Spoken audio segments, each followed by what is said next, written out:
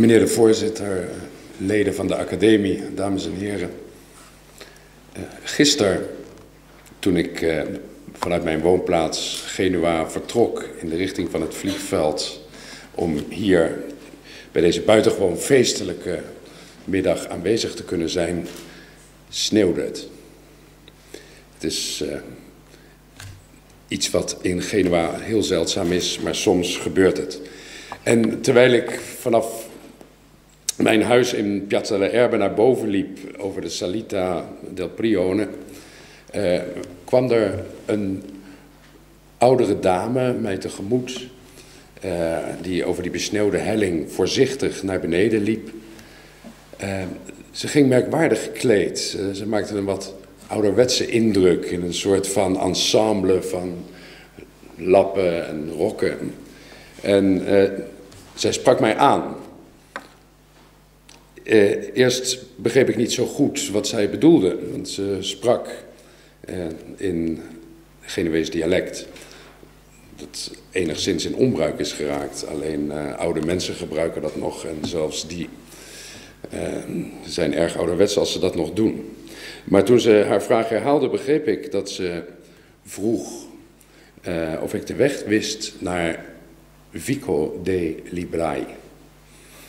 De steeg van de boekverkopers, als je het zou willen vertalen. Nou ken ik Centro Storico van Genua inmiddels heel erg goed. Uh, ik woon daar inmiddels acht en een half jaar. Uh, maar Vico de Librai kon ik niet plaatsen. Um, en ik stelde haar voor om iets verder met mij mee te lopen naar boven, Salita de Prione. En daar was een barretje, de bar van Barbarossa. En uh, we konden daar misschien aan de barman of iemand anders die daar aanwezig was in het barretje de weg vragen. ook daar wist niemand waar Vico di Librai was. er werd zelfs nog op internet gekeken via een mobiele telefoon, maar het leverde allemaal niks op. De vrouw stond aan de bar en ik wou haar graag wat te drinken aanbieden, maar zij weigerde dat. Uiteindelijk nam ze dan toch een glaasje thee. En toen onze zoekopdrachten niks opleverden, was ze opeens verdwenen. Het enige wat ze had achtergelaten op de toonbank, was ze had keurig voor haar thee betaald. En wel met muntgeld van het Italiaanse koninkrijk. En toen ik haar probeerde te zoeken en naar buiten ging, was ze nergens meer te vinden. Er was zelfs in de sneeuw geen voetstap, geen voetafdruk van haar te zien. Dankzij de lezing van Luc de Volder weten we waar Vico de Librai was. Het is op de foto die op uw handout staat, één van de zijstegen van Madre di Dio. En als u denkt dat ik dit verhaal verzonnen heb, begrijpt u niks van de realiteit. Genua is, zoals onze lezer eh, zo overtuigend heeft aangetoond, een stad van dromen. Het deed me overigens ook erg deugd om uh, te horen over het uh, internationale poëziefestival uh, in Genua. Een andere droom uh, die werkelijkheid is geworden. Ik heb zelf uh, de eer gehad om daar een paar keer te mogen optreden. de charmante schurk, zoals die werd omschreven, de poëziedirecteur Claudio Pozzani, heeft mij meerdere malen uitgenodigd. Ik was in eerste instantie geneigd om te denken dat dat aan de kwaliteit van mijn poëzie lag. Maar op een gegeven moment kwam ik erachter dat deze charmante schurk uh, van het Nederlands consulaat in Genua elk jaar uh, geld krijgt om de reis- en verblijfskosten te voldoen van één Nederlandse dichter. Ik woon op Piazza della Erbe, dat is naar Palazzo Ducale op Piazza Matteotti, eh, dat is hemelsbreed ongeveer 150 meter. dus de reis- en verblijfskosten daar kon hij op besparen. Uh, ik ben ook uh, Ik ben ook buitengewoon dankbaar dat de tweede spreker, die ik met zoveel genoegen heb mogen aanhoren, uh, mij eraan herinnerde waarom ik ooit Nederland heb verlaten. het poëtische, weinig poëtische vaderland werd meedogenloos opgeroepen in mijn eigen woorden.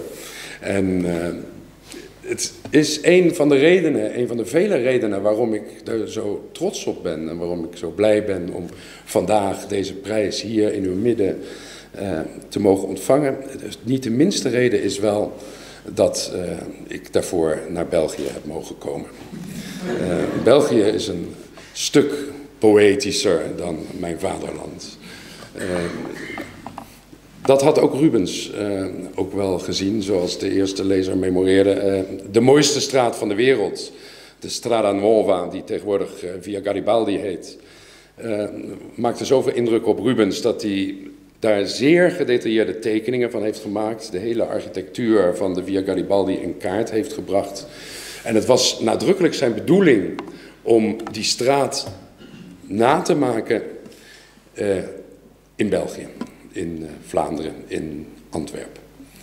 Uh, hij zag dat Genua, die straat in Genua, was het voorbeeld van de moderniteit. Dat was een straat die als eenheid, als concept was geconstrueerd in plaats van een toevallig raapsel van verschillende bouwfases en verschillende palazzi van individuele eigenaars met individuele wensen. En die moderniteit wou hij naar Antwerpen brengen. Misschien is dit een, uh, een klein voorbeeld van een van de vele connecties die er zijn tussen mijn nieuwe vaderland, mijn nieuwe vaderstad Genua en België. En een van de redenen waarom ik me in België altijd uh, meer op mijn gemak voel dan in bardere, noordere streken. Ik ben buitengewoon verguld met de woorden die de juryvoorzitter sprak over mijn roman. Ik word er bijna verlegen van. En, het sterkt mij ook. Uh, laten we zeggen dat. Uh, dat het mij een heel erg goed gevoel geeft. dat het boek om de juiste redenen is bekroond. Ik weet niet of ik dat u kan duidelijk maken, maar zoals dus uw voorzitter over mijn boek heeft gesproken, eh, vind ik het werkelijk een eer om, om die redenen die prijs te mogen ontvangen. Uh, ik vind het ook een grote eer dat ik deze prijs krijg van de Koninklijke Academie. Ik, ik zei het net al tegen de juryvoorzitter. Ik sprak toevallig gisteravond twee van mijn goede vrienden bij de Nederlandse academici die werkzaam zijn in de oudere letterkunde. Die uh, bijna jaloers waren dat ik hier vandaag naartoe mocht. En die de academie prezen als een, als een buitengewoon actief genootschap dat veel doet voor het vakgebied.